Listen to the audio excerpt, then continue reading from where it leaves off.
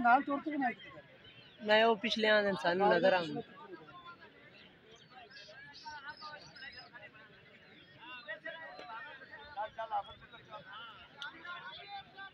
ਆਫਤ ਦੇ ਚੰਡ ਹੁਣ ਹੋ ਗਈ ਨਾ ਢਿੱਲੀ ਤਾਂ ਮੈਂ ਤੈਨੂੰ ਕਸ ਤੇ ਬਾਤ ਤੋਂ ਖਾਣੀ ਵੀ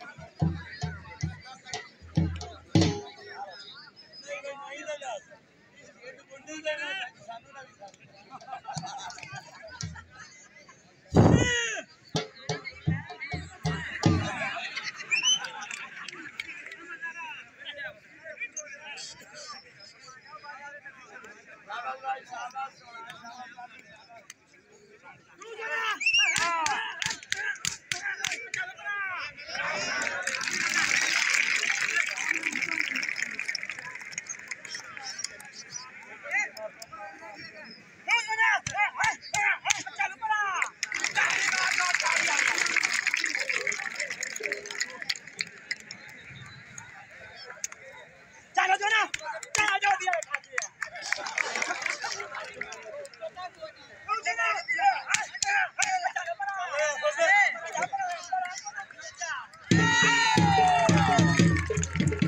you.